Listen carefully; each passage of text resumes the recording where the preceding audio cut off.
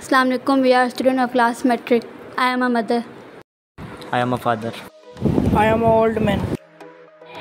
I am son. Guys, you know that once they live a rich businessman. So this businessman had a son who was very lazy like me. Yeah, and the businessman wanted his son to be hardworking and responsible. So he wanted his son to realize the value of labor. One day the businessman called his son and told him that today he had to go out and own something for uh, for else he won't give him any food tonight. So the businessman's son was not used to do any kind of work. The demand of his father scared him so he went to his uh, mother crying looking the plight of her son. She gave him a gold coin so that in the evening when his father asked about what he had earned so he could show him the gold coin so in so in the evening when the father had asked his son that he showed the gold coins that her mother was given to him he told his son to throw into the well which was in front of his house. So the boy did it when his was when he was told to throw into the well.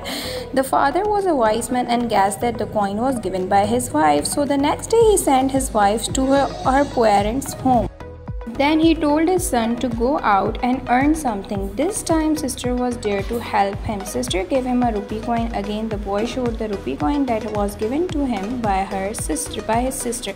This time also he told him to throw the coins into the well. He did it. The father once again realized that this again someone had helped today also. So the father so he sent his daughter back to her in-laws house. So he again has has the son to go out and earn something else so he would not give him supper but this time there was no one to help the boy so he went in search of work to the market where a shopkeeper offered him 2 rupee for carrying these back to his house. The boy accepted the offer and the boy was tired tired. Was sweating by the time he had finished the work. His feet were tumbling.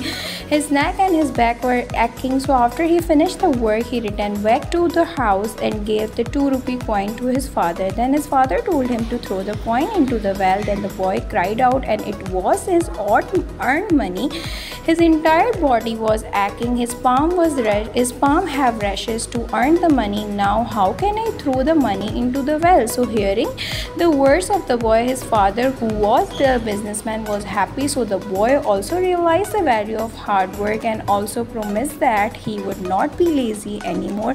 The father was so happy and had it handed over the keys of his shop to his son. So this is about the lesson of dignity of labor